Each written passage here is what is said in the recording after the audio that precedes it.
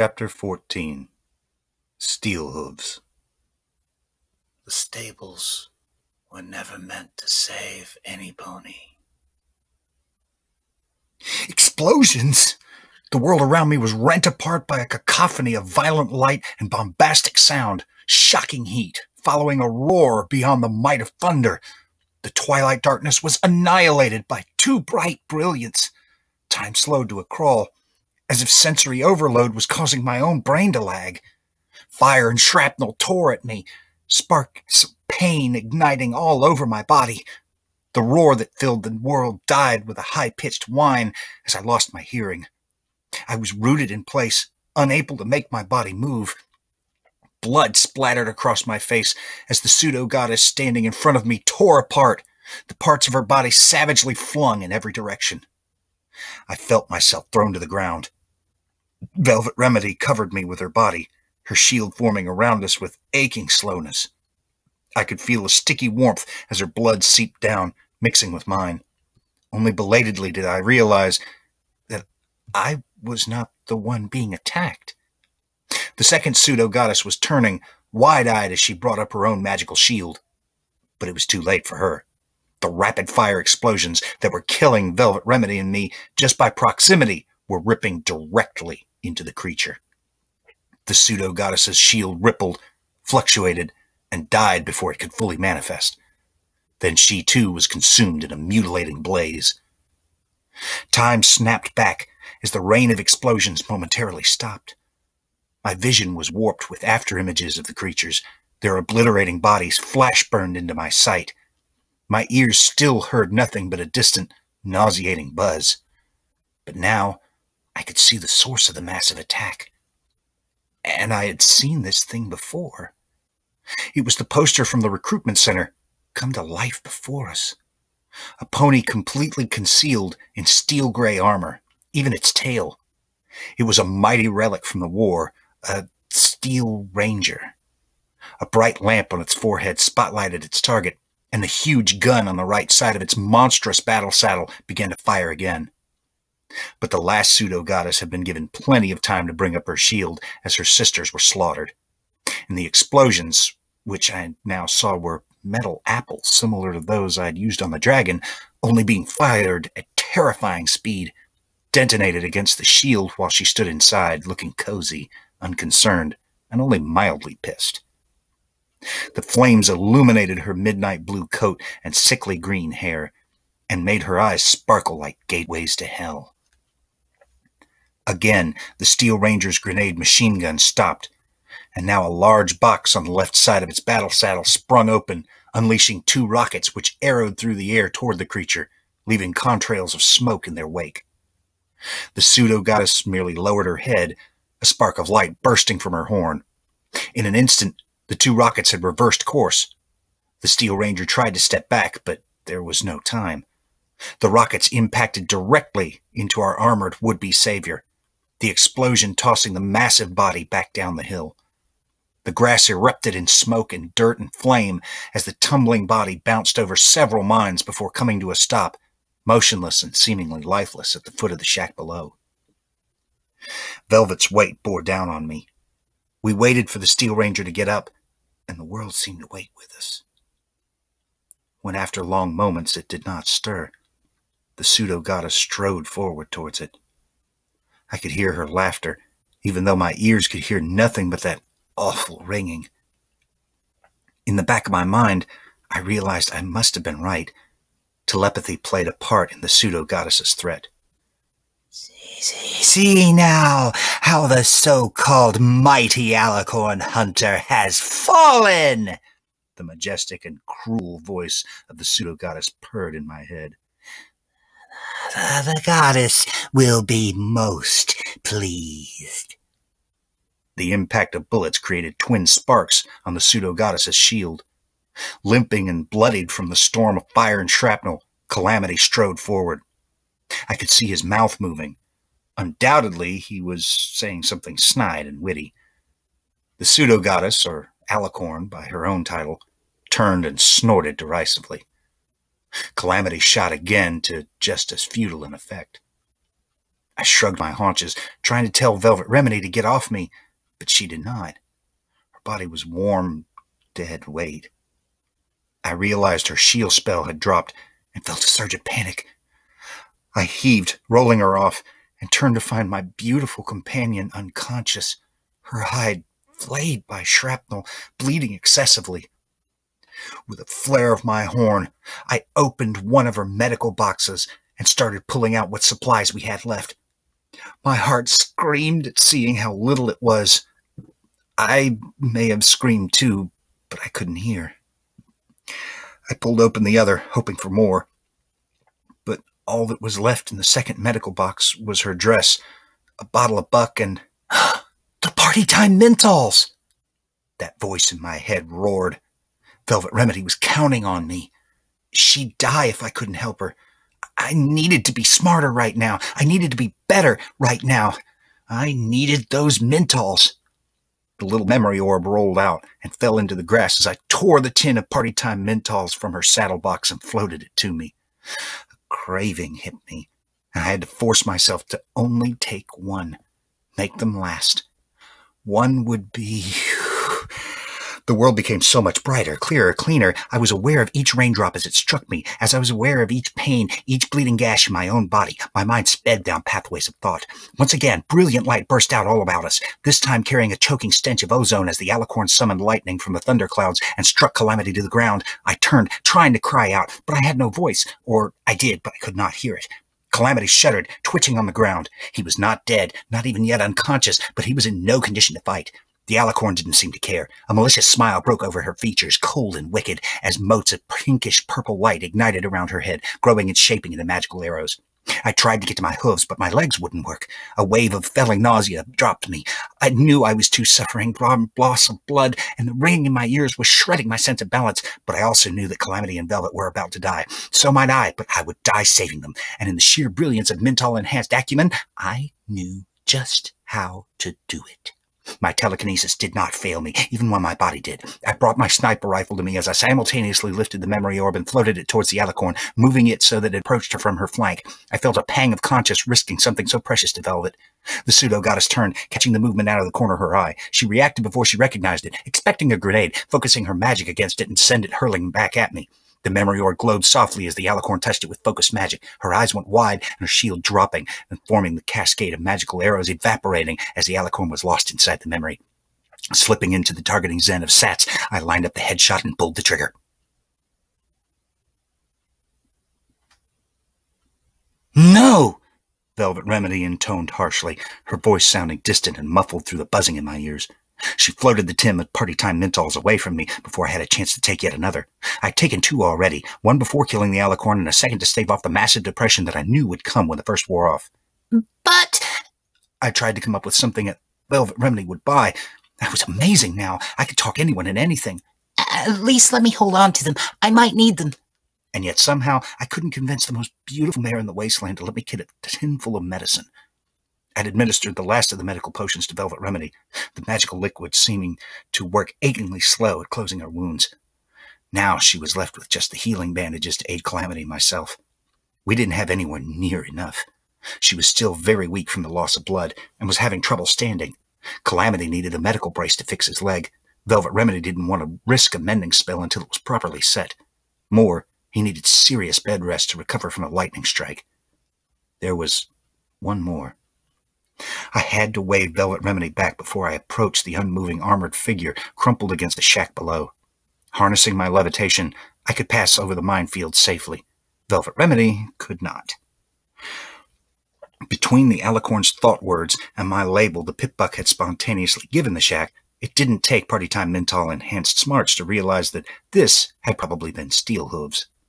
The great alicorn hunter, meaning there were more of these, possibly a lot more. The thought was frightening. Steel Hooves had exterminated two of them with a combination of surprise and epic firepower. It was by wits and luck that I had killed the third before she slew us all. Last time, I needed a boxcar. These creatures were not invincible, but they were powerful and very hard to kill. The metal stallion, or at least I was assuming stallion based on the form of the armor, had not moved since the battle. I crouched down next to the fallen ranger, several of my bandages shifting and coming undone as I did so, my wounds oozing blood. Up close, the armor was even more impressive. It had its own air filtration system, complete life support, even a mechanized drug injection. The damage from the rockets was far less than it had any right to be. Still, the armor had caved in at the point of impact, gruesomely crushing the pony inside. I tried to find a way to remove the helmet. If there was one, it was well concealed. But I found a jack point that would allow my pip-buck to interface with the helmet's own arcane technology matrix. I pulled out a tool from my utility barding, already suspecting that the helmet included its own EFS and SATS equivalents, if not more. Whoever had designed the armor must have worked tail twined with tail along with stable tech. Don't do that. The voice from inside the helmet was low, rumbling, exceptionally masculine. I jumped back, startled.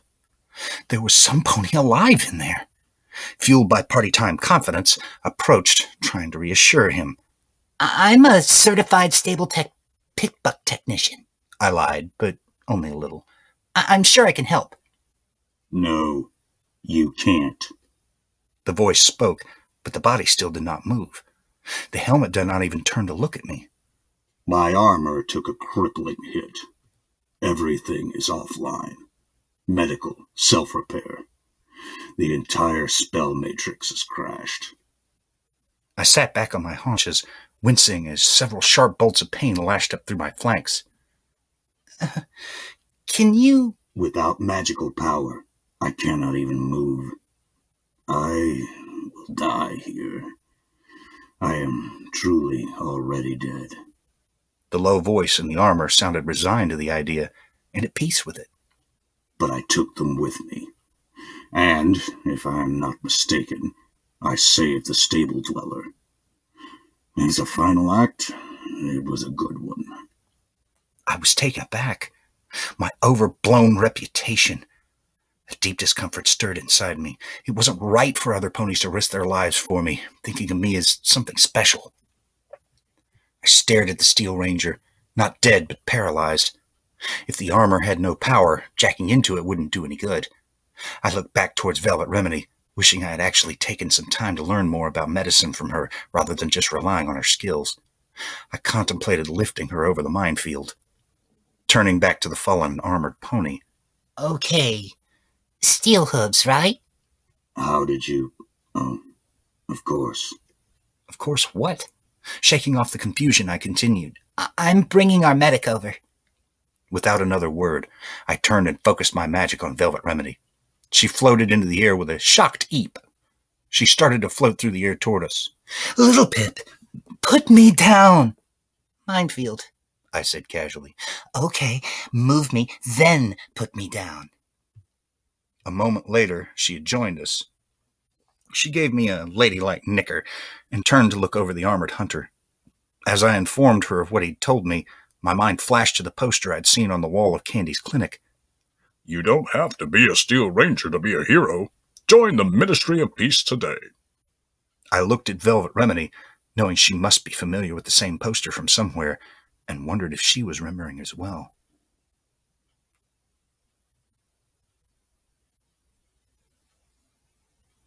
You need not bother. Steelhooves insisted. There's nothing to be done. I've had a good gallop. Nonsense. Velvet Remedy neighed, brushing off the Steel Ranger's morbidity. Now, we just have to get you out. No. The low, gravelly voice said again. Um, sorry. Velvet asked, confused. She had spent several minutes examining the armor, looking increasingly worried. Even if the armor protected you from burns and slashes, you've suffered massive blunt trauma. The internal damage could. As she spoke, she began to wrap the armor in a soft magical glow. Don't remove my armor. Velvet Remedy whinnied. oh, please. I just went through this with Calamity. I can't treat you if I can't see you. If you remove my armor, I will die. I blinked, gaping at him, eyeing the huge dent crushing into his side. I didn't possess Velvet Remedy's medical insight, but I could imagine the armor was the only thing holding him together. Velvet pulled back, canceling her spell. Well, that seems like a design flaw. The armor is meant to keep me alive. Steelhooves said a touch defensively. Open the armor plate over my left flank. Velvet Remedy did so, revealing a system for administering drugs and medical potions, everything from buck to. I don't even recognize some of these drugs, Velvet said in surprise. The armor has a doctor enchantment. If it was working, I would be fully healed already. I was still looking over the injection system, casually observing. It doesn't have a system for party. Little Pip, Velvet Remedy scolded, silencing me. I stepped back, cowed. I turned my mind from the drugs, instead focusing on the failure of the magically powered armor's spell matrix. If this was a Pip-Buck, I could easily. Wait! I blurted, already knowing exactly what to do. Velvet Remedy gave me a look. Little Pip, she hissed dangerously. I couldn't blame her. It had only been a second since I'd made the other observation. She didn't have any appreciation for how fast I could think right now. If she did, maybe she wouldn't be so fast to take my party time mentals away. no! I know how to fix him. I can restore power to the armor and reboot the spell matrix. I beamed. The suit designer obviously incorporated stable tech arcane technology. It's really not that different from fixing a Pip-Buck. Velvet's expression softened. well then, don't just stand there, she smiled, backing out of my way, careful not to move closer to the minefield. I trotted forward and came crashing back to reality. Recognition of my mistake mixed with the crushing depression that flooded me in the wake of party time mentals wearing off. In a moment, I was stupid, ignorant, and dumb.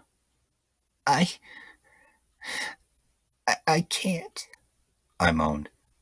But you just said, I don't have the tools. I felt like crying. The Steel Ranger was going to die, imprisoned in his armor, because I wasn't a certified stable tech Pip-Buck technician. My utility barding didn't include a spell matrix master key. Reluctantly, I admitted as much. Velvet Remedy walked to me, wobbling a little, still faint from loss of blood. She wrapped her tail over me, whispering comfortingly into my ear. A spell matrix master key? The voice of Steelhooves sounded hopeful rather than resigned. You might be able to find one in Stable 29.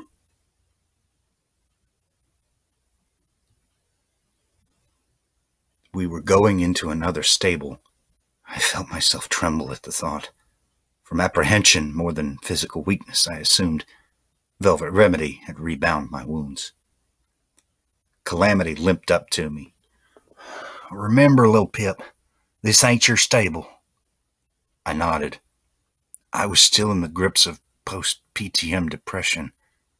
I knew I wasn't in any condition mentally to be doing this, but Steelhooves needed the help, and we owed him. I've changed my mind, the Steel Ranger protested. I cannot allow you to go into a stable for me. His sense of hope had swiftly been squelched by a stubborn nobility that I both understood and rejected. I wasn't the only one. Oh, well then, come right over here and stop us, Velvet Remedy suggested, then added, Oh, right, you can't. Your bedside manner is horrible, the voice from inside the armor reported.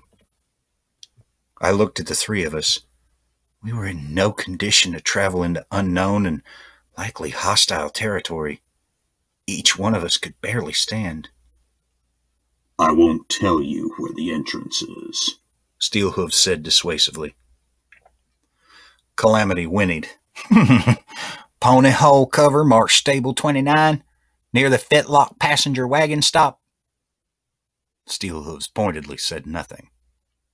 Calamity leaned over and whispered, and Velvet Remedy thought there was nothing interesting under the passenger wagon. It took us much longer to reach it than I remembered. We were moving gingerly, avoiding marks of red on my EFS compass. Right now, I felt a few rad roaches could finish us off. Calamity was flying, keeping all weight off his leg. He looked at the passenger wagon and announced too cheerfully, Well, I hope your levitation is back to its full impressiveness, little Pip. Unless we found a flux regulator and no ponies told me, moving that thing will be up to you. I laid down.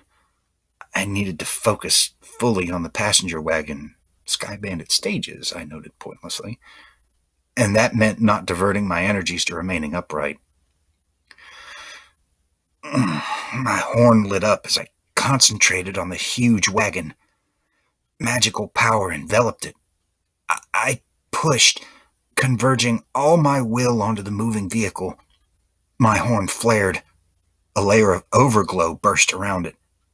The wagon began to rock, groaning. Sweat broke across my forehead. I, I began to have trouble breathing. Somewhere distant, Velvet Remedy was being concerned, but I blocked it out. A second layer of overglow erupted around my horn, and the whole wagon lifted several feet into the air and was shoved back onto the sidewalk. I let it down gently, then collapsed, exhausted. I could see the pony hull cover. Yay. Sleep now.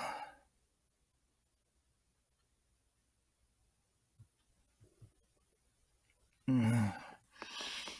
Mm. Uh, how, how long was I out? I asked, aghast.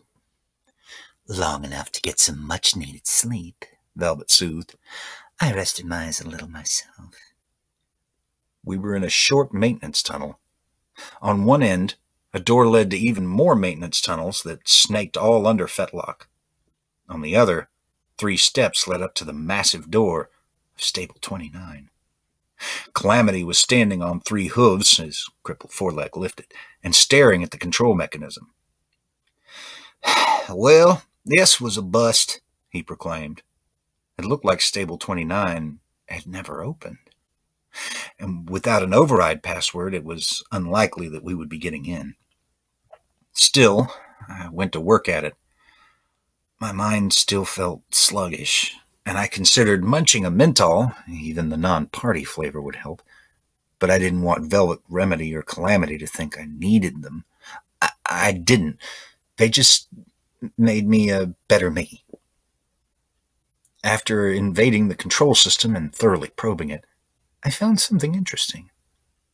I think I found a back door. Where? Calamity asked, looking up at the pony hole. Is it far? I shook my head.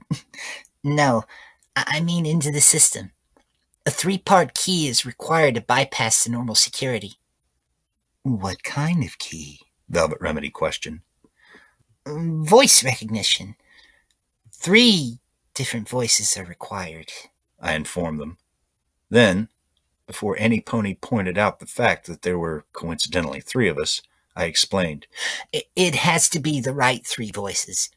What's being said doesn't seem to matter, just who's saying it. It was a very interesting backdoor at that. I wondered just what prompted such a design, and if all stables have the same security hole. Whose three voices? I thought a moment and cursed how slow my brain was. I. Um. Then I remembered Stable 2's override code CMC 3 BFF. I think I know. The first voice was the one that took the longest, simply because I didn't have a recording of it. Instead, we sat there listening to DJ Pony on the radio. waiting for his selections of songs to cycle through. For the first and only time, I was actually grateful that his radio broadcast had such a limited selection of music. Good evening, every pony. This is your humble host, DJ Pony, master of the airwaves, and it's just about time for me to turn in. But first, the news. Looks like our Crusader Wasteland from Stable 2 is an equal opportunity savior. From the reports I'm getting, she and her companions helped out a bunch of raiders up at Shattered Hoof from being enslaved and decimated by an attacking slaver army. And then, because you can't have a cupcake without icing, she killed a dragon. Luna, damn it. Why wasn't it ever Calamity and his companions, or Velvet Remedy and her entourage? I don't know if I agree with you on this one, kid. Saving raiders? Some monsters deserve to be enslaved. Perfect. Also, in the news, got another report of hellhounds attacking travelers in the wasteland between Manhattan and Philadelphia. Honestly, ponies, if you have to travel that way, make sure you have a heavily armed escort. And if you don't, just don't. This has been a DJ Pony survival tip. Tune in for more tips in this series, including grenades aren't for eating and raiders do not want to be your friend. But first, it's Sweetie Belle singing The Dark Days Are Over. I leapt up. Here we go, ponies. Back at the controls, I fed the voice pattern recognition spell the first few lines of the song, mentally noting to record the song for use if I had the deep misfortune to have to enter a stable a third time. I followed with snippets of two recordings. The override code for opening the door to Stable 2 is CMC3BFF. Hello, my name is Scootaloo. You probably know me, since I am pretty famous, for my awesome performances at events like last year's Gallops, or maybe just as the founder of Red Racer. With a mighty hiss and a draconic groan of protest, the door to Stable 29 began to move. I turned to find Velvet Remedy walking past me to face the door. The gorgeous mare had donned her beautiful dress and groomed her mane. I shot a look to Calamity, who merely shrugged. Um, Velvet? The dress hid most of her bandages. We're meeting the ponies of another stable for the first time. We want to put our best hoof forward, she said aristocratically. Especially if they've never had outside visitors before. We want to look like diplomats. Her eye moved to look at me without turning her head. If you two went in first, we'd look like invaders. The vast metal door swung away, and Velvet Remedy stepped into Stable 29 regally and without hesitation. Calamity limped up to me as I watched her disappear inside. She's really something, ain't she? Yes, I said, feeling a little dumbstruck. I glanced at Calamity, who was staring at the. that velvet. She. I, I did a double take. Calamity wasn't looking at Velvet Remedy, he was looking at her. Something broke in my brain. No! No, that that was just no. No? he asked, confused, his eyes not leaving her haunches. I stammered, recovering. No, not no. I mean, yes, yes, she is. She's mine. Damn it!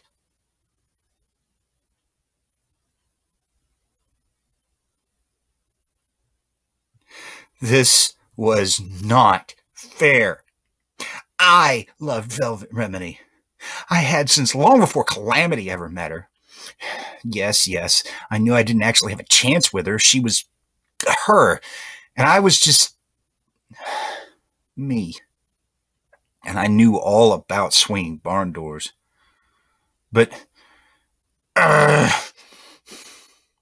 I took the mental image of Calamity successfully wooing Velvet Remedy when I could not and shoved it into a deep, dark hole. then filled in that hole, then built a house on top of the hole and moved into it. I focused instead on the pristine but extremely gloomy interior of Stable 29. At first glance, it looked perfectly preserved. A gasp from Velvet Remedy shattered that illusion.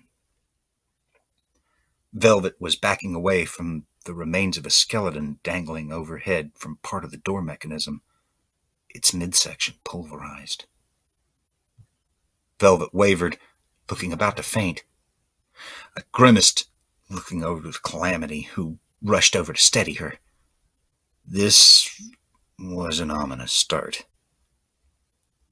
Two metal doors offered us options maintenance or atrium. My eyes forward sparkle was clear of any red. For that matter, it was completely clear of anything other than my two companions. There was no life in this stable. At least not within the range of my Pip-Buck spell.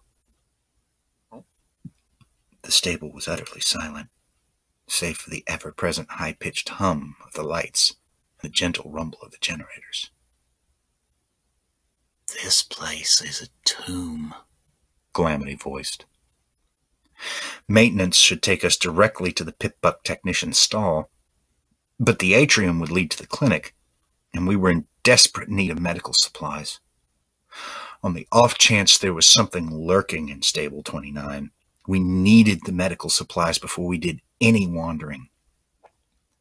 I passed my logic by Velvet Remedy and Calamity, and they both agreed, Calamity wincing as the hoof of his injured leg brushed the floor. I stepped forward, and the door to the atrium slid up. Stepping in, my eyes immediately fell on the skeletons of at least three dozen other ponies. They were strewn about the room, but the highest concentration was right at my hooves. I had to use telekinesis to create a path through the bones of the ponies lucky enough to have made it into a stable before the megaspell destroyed Manehattan.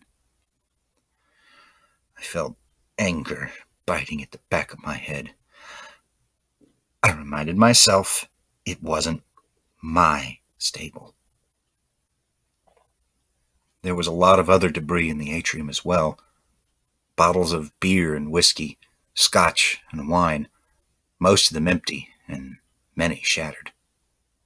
Dresses and gentle pony wear turned greasy with decay. In the far back, a sound system was riddled with bullet holes. Do you think they. Velvet's voice trailed off. She was looking behind us, just above the door we had come through. Two automated security turrets were mounted on the wall. They had power, but didn't seem to be tracking us. My EFS claimed they were not a threat. The room suggested that had not always been the case. I looked up towards the circular window of the Overmare's office, only there wasn't one. The wall was blank and featureless where that window should be. The stairwell that should lead up to the security center in the Overmare's offices was there, but it was simply labeled security.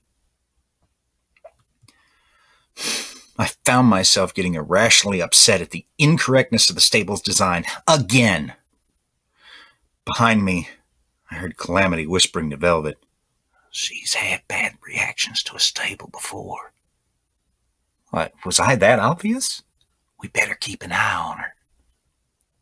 Oh, perfect. Now they were going to be my parents.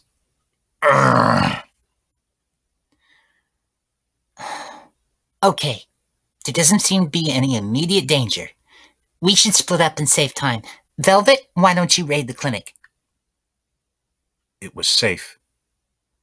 I, I could see into the clinic through the atrium window, and Calamity and I'll head down to maintenance.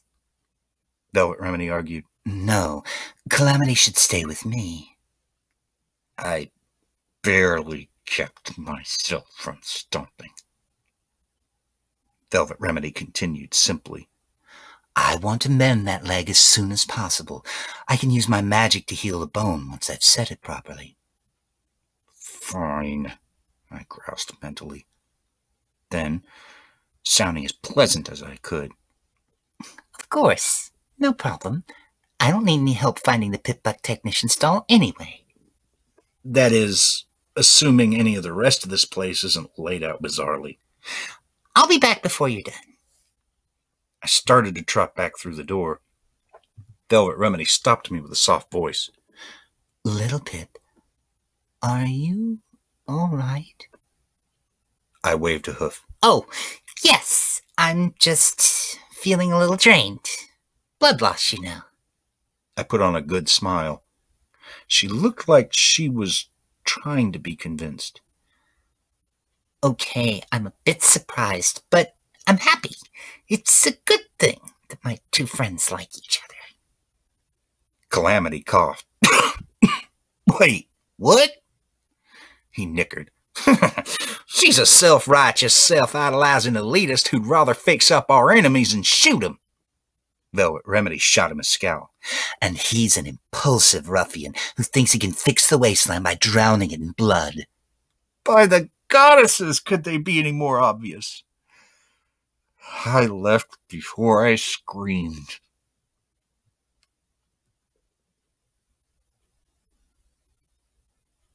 I spent the rest of the trip down through stable maintenance, reminding myself that it was actually a good thing that my friends got along. And it was stupid to be jealous when I had no real chance to begin with, and that if I wanted to keep those friends, I'd best bury these feelings in that same dark hole. I wondered just how long had this been going on? W- was it new? Had there been signs that I was too oblivious to catch? Or had I just not wanted to catch them? The idea of catching them brought an entirely unwanted mental image of Velvet and Calamity to mind that I quickly shredded and burned. This was going to be hard. You know what would make being cheerful for them easy? A little pony in my head waved a tin at me. Fuck that little pony. I wanted to wallow just a little longer. A little light appeared on my EFS compass. It wasn't hostile. Did one of them come down here after me? If so, how did they get ahead of me? A moment later, a maintenance bot hovered out of one of the stalls, its multiple limbs bobbing as it cleaned the wall. No wonder this place looks spotless. I felt a spark of annoyance that we didn't have a wall washing robot in Stable 2 maintenance. I'd had to wash the walls of my stall by hoof. the robot started to clean in my direction. I decided to get out of its way by ducking into the robotics technician stall. The room was filled with maintenance bots in various states of disrepair. There were enough tools in here to upgrade Calamity's workshop plans. I began looting. The robotics technician's back office had been burned black. I found the charred skeletons of two ponies, along with a partially dismantled medical bot. From the looks of it, some pony had made a fatal error while working on it, causing the sanitary flamethrower to go off wildly. The maintenance bot passed by in the hall. At the back of the burned office was a safe. The paint on the wall around it bubbled and peeling. The safe itself had feared nothing from the fire. I slipped out my screwdriver and a bobby pin, only to discover the safe wasn't locked. Already in a bad mood, I felt cheated. Inside was a flask of asp- was a flask of apple whiskey, a pouch of two hundred year old old fashioned gourmet honey drops, a tin of sadly normal menthols, several maintenance clipboards, and a recording. Leaving the clipboards, I downloaded the recording into my Pip-Buck and gave it a listen. This is Mender, reporting on diagnostics progress for Kanakin's household utility bot. Stayed up all night probing through the thing's programming. Wanted to have this report ready in time for the funeral.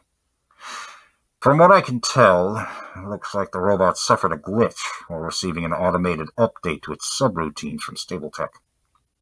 That's really the only explanation I have of how it gave Kanakin a cup of steaming hot industrial solvent rather than coffee.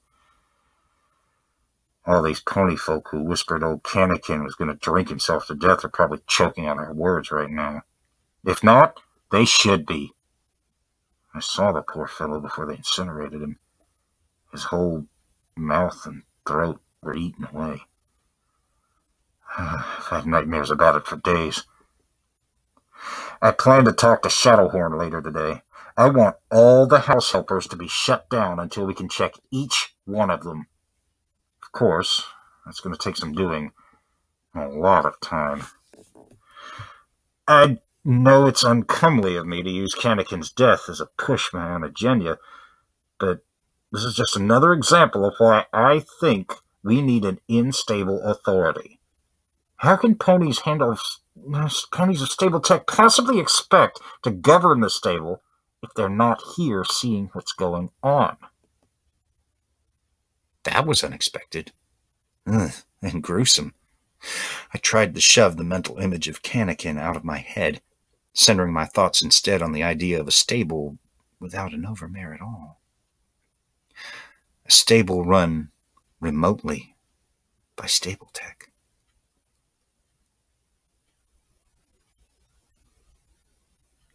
The Pip-Buck technician stall was right where it was supposed to be.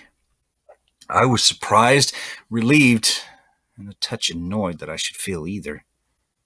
The technician's spell matrix master key was locked away in a cabinet, along with a dozen other enchanted precision tools that mere apprentices like myself were not allowed access to. I floated out my screwdriver and a bobby pin once more. A few minutes later, my armored utility barding was fully loaded with everything I could need for advanced Pip-Buck repair. And, at least in theory, everything necessary to restore the flow of magical power to Steelhooves' armor. And, just in case, I packed several spark batteries and a small magical field conducting array. The office of this stable's head technician lacked the hammock that had so often bore my teacher's weight back in Stable 2. I shook my head, giving the stall one more look before leaving to rejoin my friends. I spotted an audio journal amongst the items scattered across the technician's desk. Sit here and play the journal, or trot back to find Velvet Remedy and Calamity. Together. Hopefully not kissing. Okay, journal it was. Shadowhorn called us into a meeting this morning. We nearly had a major disaster yesterday. That idiot Buckbright built his colt a BB gun for his birthday, then brought the kid down to the reactor level for target practice. What was he thinking? Kid missed a rad roach and punched a small hole in the environmental system. Actually nicked the water talisman. Thankfully, it's working fine, but Another half inch, and the whole stable would be in serious trouble. As head of maintenance, Shadowhorn laid down a whole new series of safety protocols. They aren't official until she gets them passed through Stable-Tech, but we're going to follow them anyway. If Stable-Tech doesn't like Symponi giving orders for them, well, they can trot themselves down here and say differently.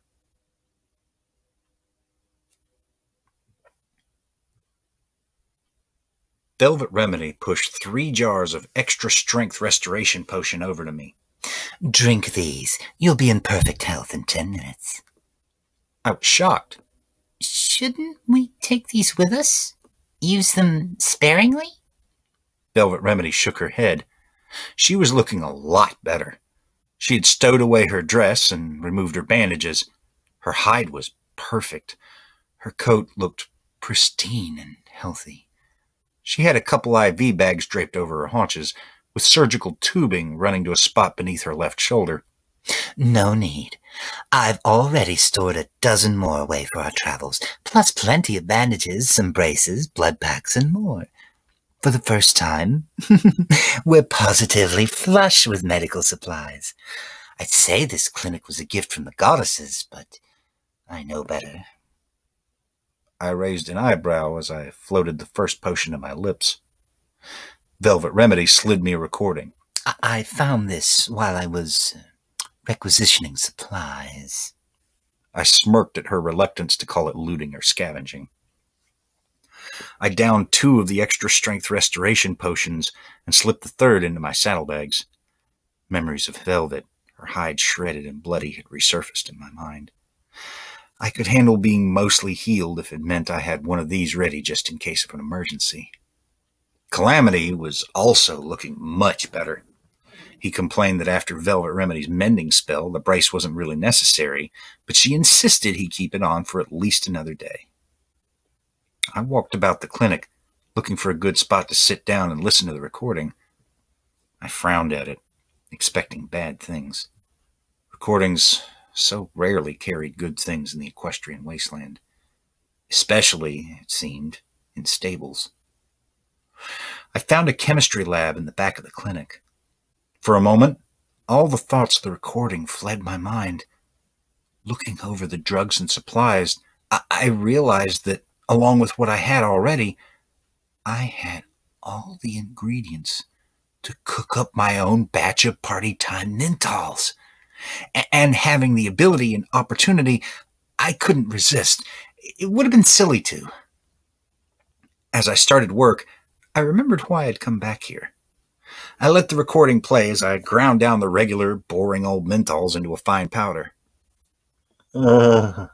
The voice was so filled with raw despair that I quickly shut the recording off. I didn't want to hear that.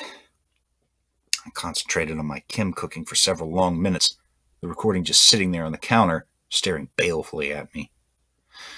Finally, with a huff, I turned it back on. How could this have happened? The doctor and I just stepped out for a few minutes. When we came back, the clinic had sealed itself and the fire suppression system had activated, flooding the entire clinic with.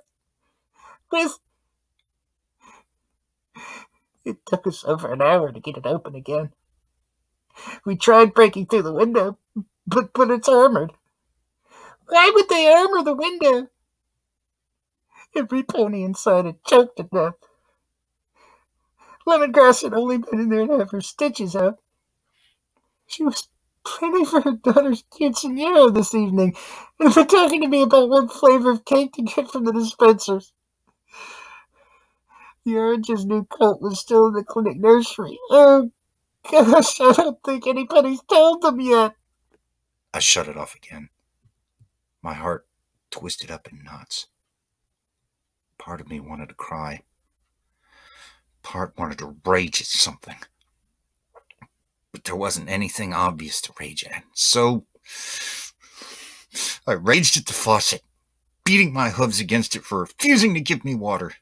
It was stupid, but it felt good. Finally, after pouring water from my canteen, I finished mixing the concoction and set it to bake. The sound of machine gun fire snapped my attention away. All thought of journals, mentals, and chemistry evaporated when I heard Velvet Remedy cry out. My friends were in trouble. As I turned, two red spots lit up on my EFS compass. The turrets had become hostile. Dashing back into the central clinic, I saw Calamity and Velvet ducking under an overturned medical bench as the two turrets outside, above the now closed door, peppered the glass window. Pock marks and spiderweb cracks covered every inch of it, the armored glass about to give. Floating out Little Macintosh, I positioned myself where I'd be able to target both of them the instant the glass came down. I didn't have much cover, but if I was fast and just a little lucky, I wouldn't need it. The window broke apart in a tinkling cascade. I felt the first bullet slam into my chest, not quite punching through my armor as I girded myself with SATS and targeted both turrets twice. A second bullet ripped through my foreleg between my Pip-Buck and my knee as I fired off the first shot, and the second. Blam!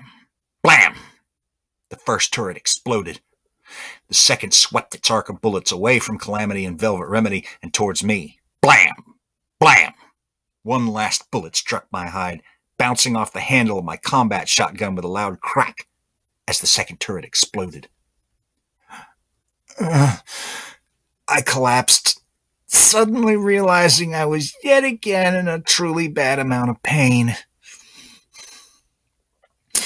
This time, I had no worries at all. I had Calamity and Velvet Remedy right nearby, and we were in a clinic.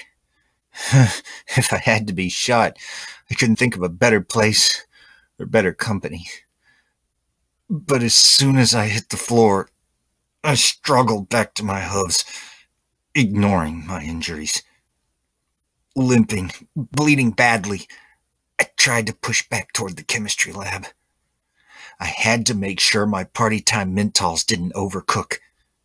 Now that my friends were safe, my mind locked on what had become a decidedly second, but still important priority.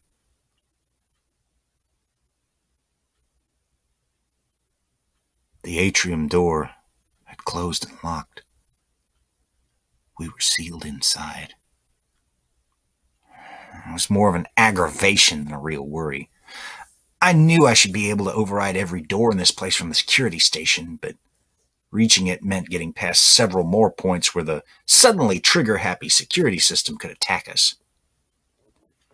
I looked to my companions. By now, I was beginning to think of us as seasoned warriors of the wasteland.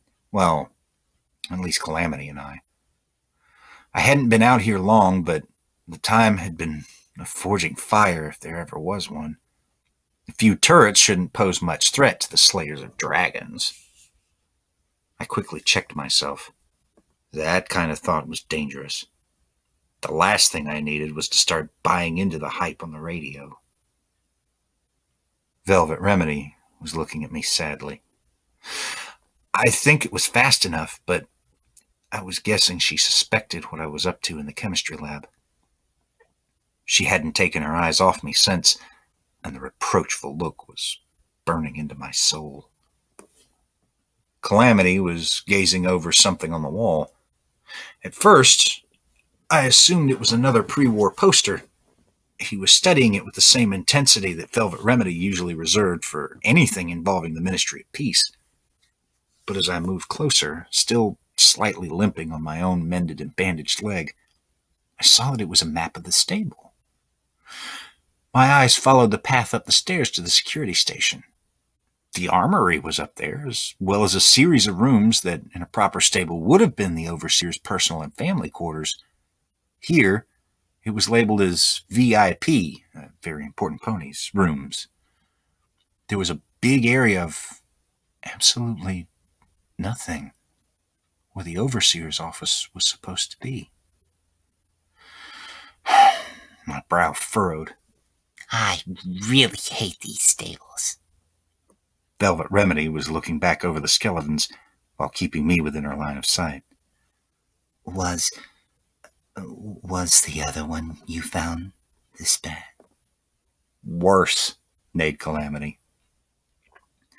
We moved towards the stairs, stopping at a bulletin board covered in the usual notices. I shrank back.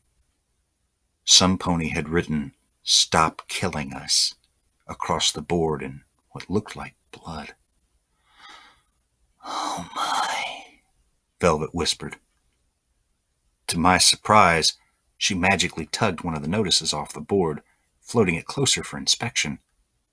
The notice had been between a posting of new safety regulations and a flyer for two missing fillies whose smiling faces had stared into an atrium of corpses for centuries. The bottom part of the N was painted on the sheet Velvet had taken. I stared from the bulletin board to her, wondering how by Luna's mane she could find anything more noteworthy than the giant plea for mercy written in a dying pony's own bodily fluids. Velvet Remedy turned the flyer so that Calamity and I could see. Third month survival party. Tonight in the atrium. 10 o'clock to 16 o'clock. Stable 29's own Vinyl Scratch hosting. Alcohol will be provided after 12. Calamity whistled tilting up his hat. Whew. Vinyl scratch. The original DJ Pony, at least according to some. So, she survived the Manehattan Bale firebomb after all. I shot Calamity a look that suggested he needed to revisit his definition of survived. I really hated these stables.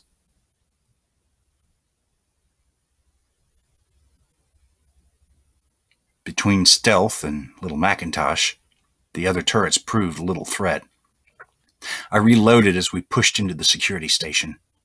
I sat down to hack the terminal, trying to be respectful as I floated the pony skeleton off it and laid it down in the corner near the others. Velvet Remedy had begun saying prayers over them. Calamity trotted to the armory in the vain hope that he could open it without my skills. Hm. Discovering he couldn't, he turned away with a disappointed expression. I waited until he took a step away before opening the door remotely from the easily hacked terminal. He jumped, then shot me a grin and disappeared inside. A petty but good natured revenge. Hm. I was still smelling carrots. I turned back to see a huge mass of security logs. Tentatively, I brought up one of the later ones. Entry 67. This is insane! Over half the population is dead.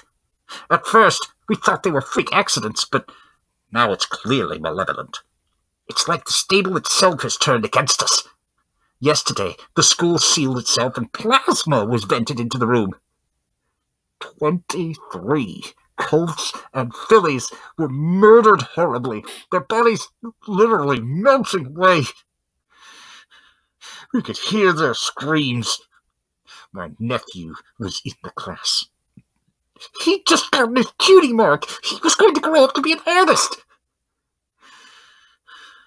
My sister can't stop crying. She's locked herself in our room with all the pictures she has of him. Some pony has to be responsible for this. Some pony has to pay. I found myself shaking, and not from pain. I commanded the security terminal to play one of the older ones. Entry 43. Shadowhorn passed away last night from complications after being nearly electrocuted yesterday morning while trying to access the junction behind a security panel with her Pip-Buck. This so soon after Buckbright and his son were killed in that accident with the lift. This stable's a death trap. I hit another. Entry 72. It's Stable Tech. It has to be. Those fuckers at Stable Tech have locked us all in their little fucking death maze, and they're killing us off. It's not even one by one anymore. They're slaughtering us in groups. What kind of sadistic bastards would do this? They've killed children. Don't they realize we're the only chance for pony kind? These stables are supposed to save us. What kind of evil saddle fuckers play murder games with the less surviving members of their own species? We can't even get at them. It's all done remotely. I brought up the next one, ignoring Velvet Remedy's plea for me to stop. Entry 73. Huh. Huh. The joke's on us, isn't it? It occurs to me that we don't actually know the next spell's run out. We believe the world above has been destroyed because that's what Stable Tech told us to believe. But what if it's not? All of Equestria is just going on about their daily lives in the sunny world above us while we scream and cry and die down here in some depraved amusement park for the six soulless ponies at Stable Tech. It's the only thing that makes even a breath of sense in this horror. I tried to trigger another when Velvet Remedy physically pulled me away from the terminal. What? I yelled in pure rage, my body shaking so hard I felt like I would explode. A little bit, she said. And I realized she was crying. You need to stop.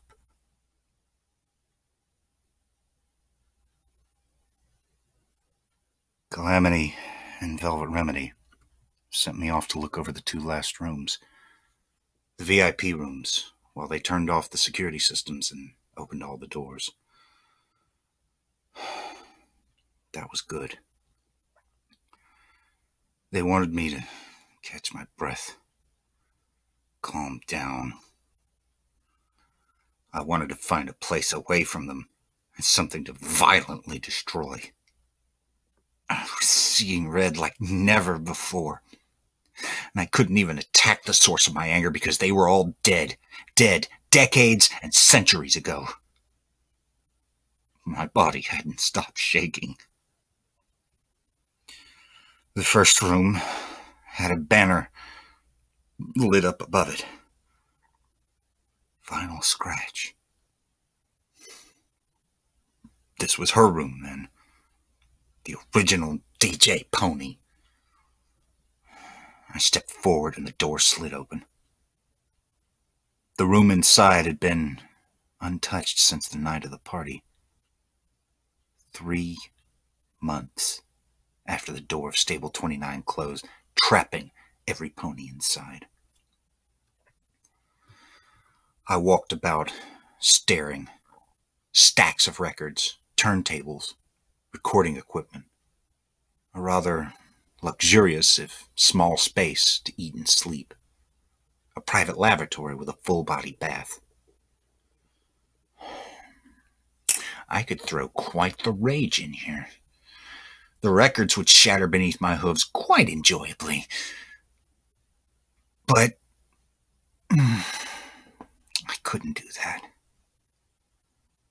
Destroying the things that had been loved by the ponies who lived here ever so briefly didn't feel like railing against the vile ponies that had created this place. Rather, it would be a continuation of their work. Instead, I collected a few records, slipping them into my saddlebags. When I turned to the others, I would have Velvet Remedy lock them in one of her medical boxes where they'd be safe from bullet fire. I still remembered that apple. There was a safe in the room. I hesitated. Somehow, it felt a little odd breaking into the safe of a celebrity, even a long dead one. But with a long breath, I brought out my tools and set to work. Inside, I found an old child's toy, several framed photographs, and a handful of posters. And one box that looked like it had been rescued from a fire. Inside were four memory orbs. One caught my eye. It was labeled Pinkie Pie's Last Party. I took it, slipping it into my saddlebags, and walked into the next room. The sign over the door announced Shadowhorn. The mayor in charge of maintenance was a VIP in the stable? Even in the midst of my barely reined fury at Stable-Tec, my pure hatred towards whom could not be told, part of my brain recognized that seemed odd. The door slid open for me and I stepped in. This room was more disheveled. There were parts and scrap metal everywhere. Half finished projects covered the table. Schematics of different stable systems were pinned to the wall. One of them had been torn away to reveal this room's safe. Once again, I set to work. When the safe opened, it revealed another recording. This one looked startlingly similar to the one I found in the Overstallion's office. I needed to hear it but a part of my mind screamed for me not to. I didn't pay attention to that voice. Instead, I played the message, and another familiar voice burst to life in the tomb of Stable 29. The voice sounded determined, but weary and filled with sadness. She sounded like she was reading a script she'd grown to hate. Hello, Shadowhorn. The following is for your ears only. I am speaking to you because you have been selected for a very important job. Due to your sense of loyalty and duty both to this company and the ponies around you. My name is Scootaloo. You probably know me. Oh, who cares? I'm sick of these things. Try that again. Hello, my name is Scootaloo, and I'm the Vice President of Stable-Tec. If you're hearing this, that means that the Omega level threat protocols have been enacted and the citizens of Equestria chosen for Stable 29 have been safely sealed inside the most state of the art apocalypse survival facility ever created. I'm very sorry. I wish there was more we could do. Hell, I wish this whole thing could have been prevented. But instead, it falls to us to save who we can and try to prevent it from happening ever again. To that end, your stable has been selected to participate in a vital social project. The first goal of Stable 29, like any other, is to save the lives of the ponies inside, but. But there's a higher purpose to your stable. Beyond saving individual ponies. We here at Stable-Tec understand that it doesn't do ponykind any good to save ourselves now, only to annihilate each other later. We must figure out where we went wrong. We must find a better way. And we must be ready to implement it as soon as possible once the stable doors open. And survive what our current leaders have managed to do to Equestria. Damn it. How did we come to this? Damn it, damn it, damn it! We. I guess we came to this. Maybe. Because we're ponies. We try our best. We have the best intentions, but when things go wrong, we get flustered or confused or upset or angry. Our ability to make smart decisions is impaired the most when we need it the most. Bad decisions, emotional decisions. They've dragged us into a war no pony wanted. They pushed us to the brink of extinction. If, if you're listening to this, beyond. Damn it all to hell! Damn us all to hell!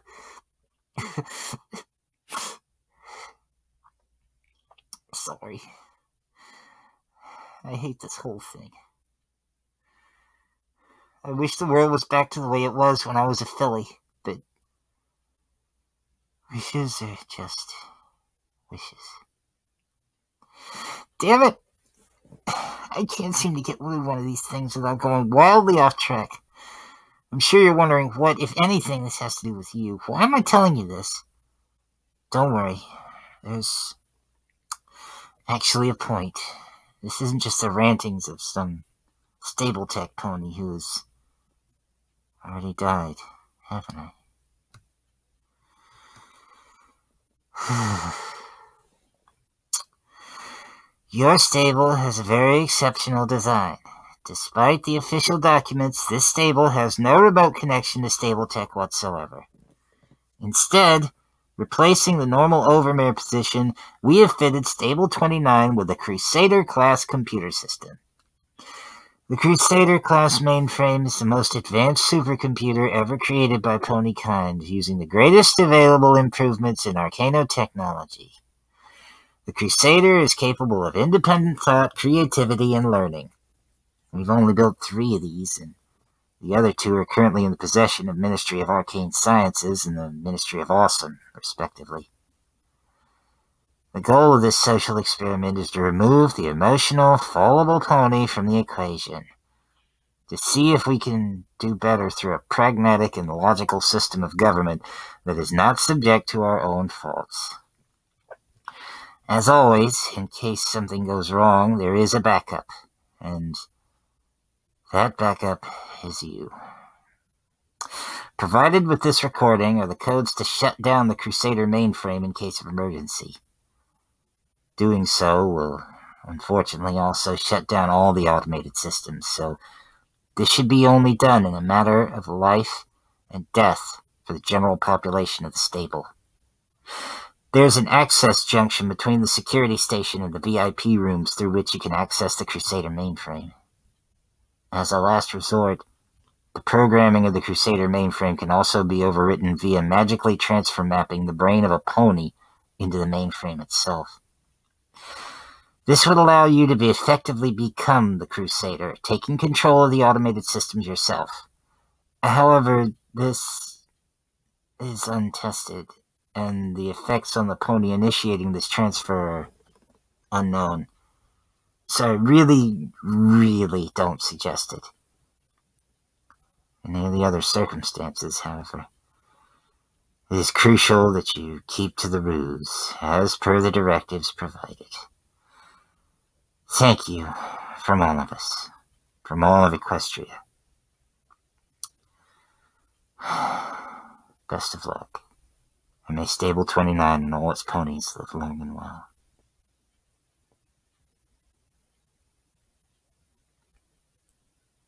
Finding the security access junction was easy.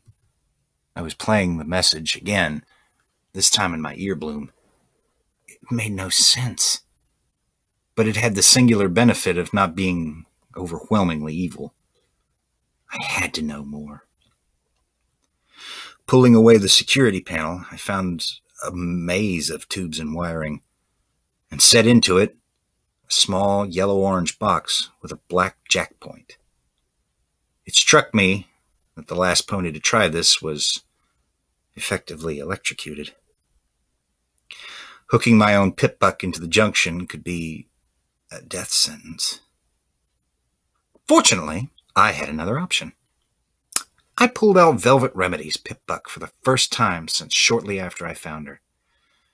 it was a thing of beauty, but I realized it had a less pleasant meaning to her. Holding it by levitation only, I jacked her custom Pip-Buck into the junction. Minutes later, I was looking through streams of data. One string caught my eye. Error detected. Water talisman functioning at 98% capacity. Analyzing damage. Chance of restoring water talisman to full functionality 0%. Analyzing options. Surface radiation level 1300% above survivable level. Preservation of pony life requires water rationing and 0.02% reduction of the stable population. Initiating water rationing. Analyzing population for most expendable 0.02%. Initiating population reduction. Strength went out of me. I stared at what I was reading, my rage melting into cold despair. There were many more strings of similar data. Over the course of the season, the damaged water talisman continued to deteriorate, and every time the degradation reached a new threshold, the Crusader running Stable 29 culled a portion of the population in a coldly calculated attempt to preserve pony life in the stable as a whole. After three months, the water talisman failed altogether. The Crusader acted accordingly to preserve pony life.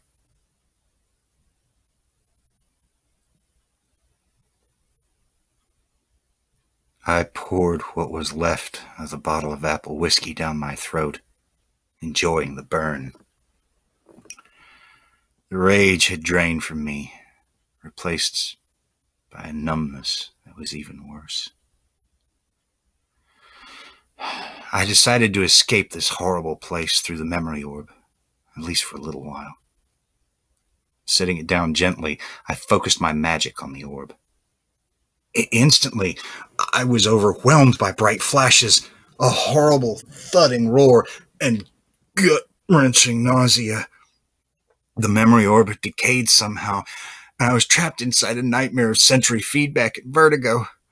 I tried to escape, but there was no way out. Then the world righted myself, but it wasn't my world. I was quite certain I had vomited all over myself, but I wasn't myself, so I couldn't tell. All around me spanned a massive party. Colored lights, festive decoration, and a dance beat that grasped hold of your soul and made you want to move. I, was at the turntables, bobbing my head to the beat, and everywhere ponies. Ponies dancing, ponies eating, ponies doing things in corners and behind potted plants that would make their parents blush and faint. A gracefully aging light blue Pegasus pony with rainbow colored hair fluttered towards the turntables with a slight swagger and looking a bit sloshed. Awesome beat, Final Scratch. She grinned. Your rhythms always make for the best parties. She wore her years well and must have been a damn cutie in her youth. I wanted her hair. And whoa, was Final Scratch checking her out? She had my gaze going up and down. No, wait, that's just head bobbing. Yeah, said a familiar looking orange pony with a cow pony hat on her yellow mane and red ribbons in her tail that matched her three apple cutie mark. She was significantly older than her statuette portrayed. She looked even older than in the news article and had not aged quite so gracefully. I wondered if her looks were more from stress than years. Fluttershy and Rarity are going to be hating they missed this. Her accent reminded me a lot of Calamity. The orange earth pony sauntered up to the turntables, looking at the blue Pegasus who swayed slightly as she smiled back. Are you safe to fly home, Rainbow? Ah, hell no! The rainbow maned Pegasus clopped the orange one on the shoulder. I haven't left one of Pinkie Pie's parties safe to fly in nearly 20 years now. The orange pony gave her an odd look. You ain't tried any of the harder stuff, have you? Hell no. Rainbow stomped a hoof as she repeated herself. You know. She dropped her voice, which had been getting loud. I don't touch any of that stuff. She held a hoof to her breast with slightly wobbly pride. Rainbow Dash doesn't need enhancements. The orange pony looked relieved. I realized I was looking at the mysterious mayor of the Ministry of Awesome, the one whose rebellion gave Calamity his title of Dashite. I didn't know what to think, although I had to admit she certainly had the right hair. I've heard they got stuff back there called Dash, Rainbow Dash said conspiratorially. which Pinkie says would make me even faster. She landed with a heroic stance, her voice filling with extra bravado.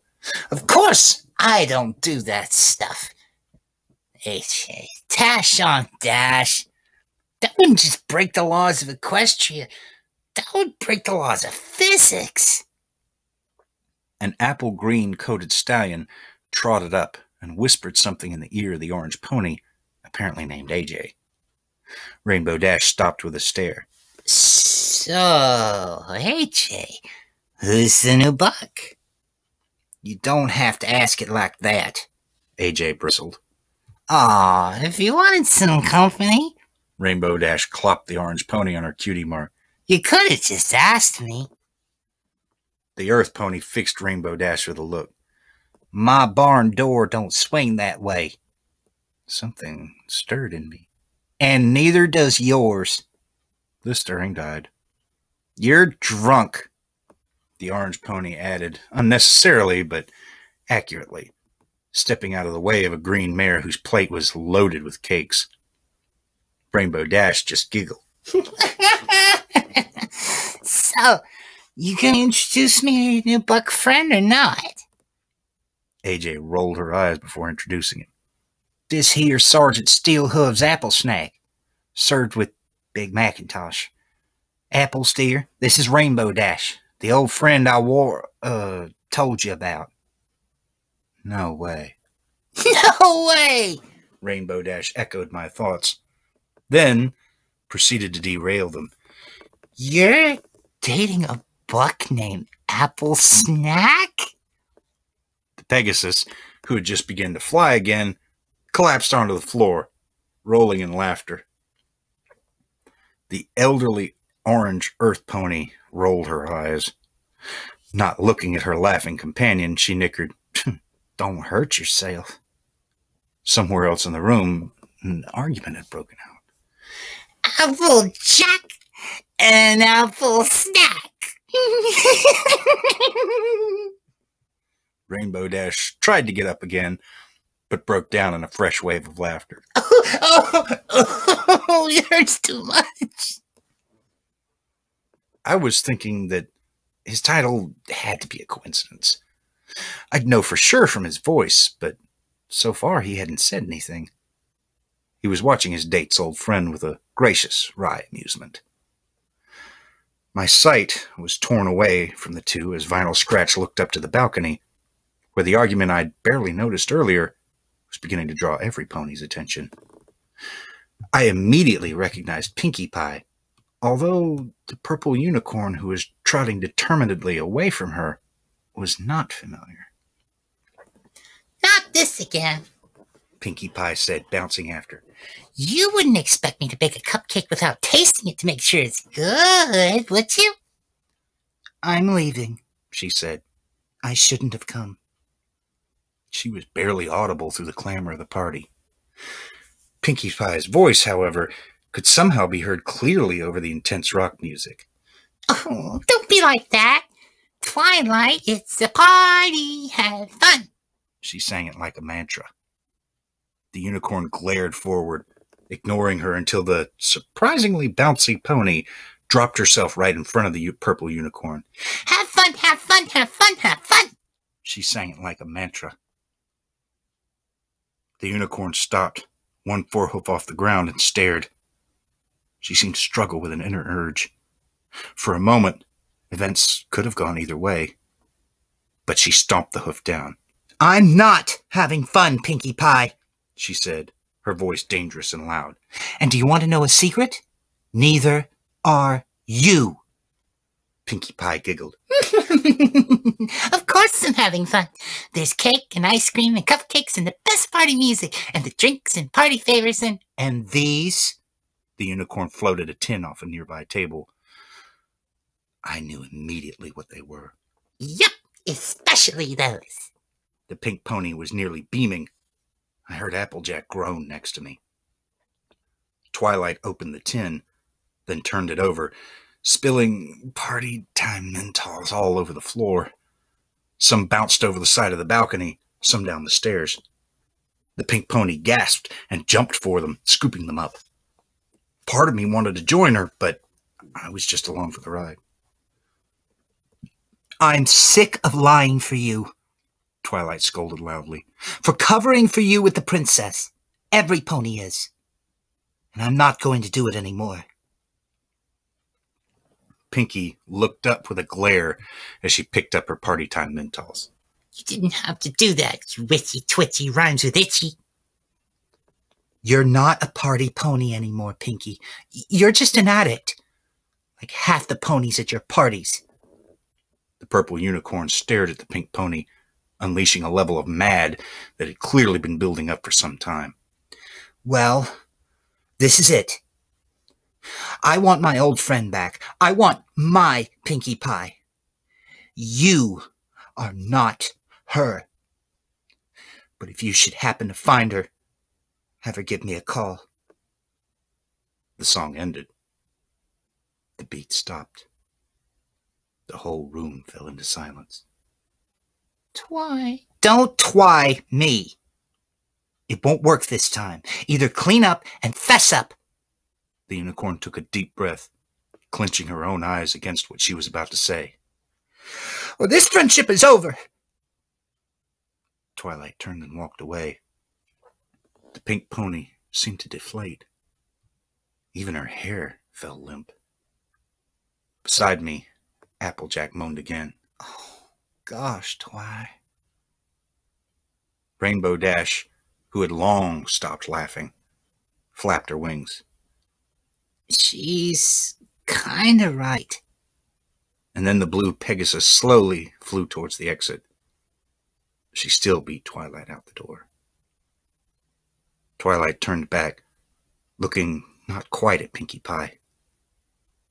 In a voice I'm not sure reached the balcony, she said, If you decide to be my Pinkie Pie again, really do, and need help, you know where to call.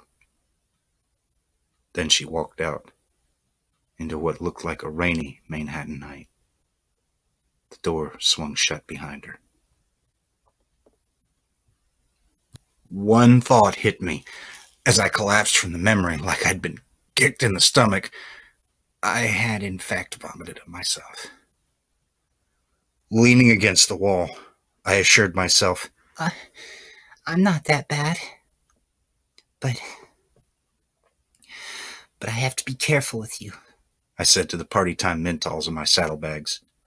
I can't let Calamity or Velvet Remedy get to thinking I have a problem with you. I don't want to lose my friends because they think I'm addicted. Footnote level up. New perk. Tough Hide level 1. The brutal experiences of the equestrian wasteland have hardened you. You gain plus 3 to damage threshold for each level of this perk you take.